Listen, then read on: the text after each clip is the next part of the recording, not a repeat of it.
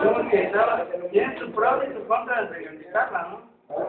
Porque sí, como dice, la legaliza, sí tienes más lugares para venderla y eso. Pero también subes un poco más de precio porque así se empiezan a destapar más, bueno, baja, pero Sí, hay que cambiar también la forma de ser de, la, de las personas, ¿no? Porque no es lo mismo que la legalicen que que la legalicen aquí, porque allá tienen otro tipo de conciencia. Aquí casi, bueno, la gran mayoría, no estoy diciendo que todos, pero por lo regular son delincuentes.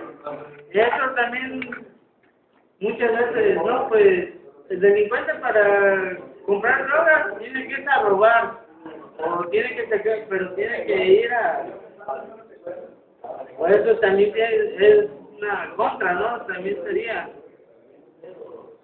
Y pues también si la legalizan esa gente si ve que ya no es negocio lo dejan y agarran y ellos venden no le agarran para sacar otros esos ingresos que sacaban antes.